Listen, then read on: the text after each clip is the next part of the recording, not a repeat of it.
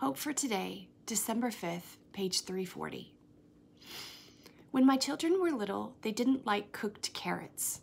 However, they, they love to eat raw carrots, so I always kept some around for snacks.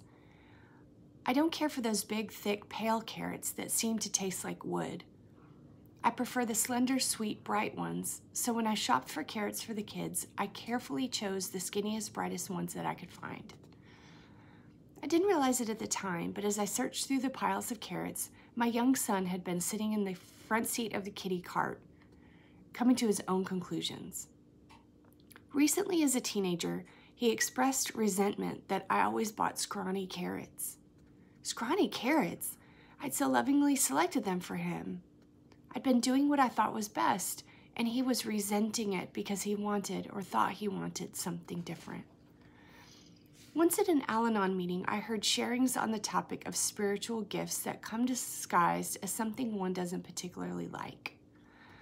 This idea was in the back of my mind as I listened to my son. Suddenly, I found new insight and understanding. Was I resenting God's scrawny carrots?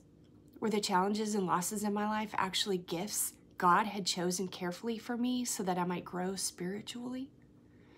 I knew it to be so, and I felt simultaneously humbled and overwhelmed with gratitude for the nature of my higher power's love for me.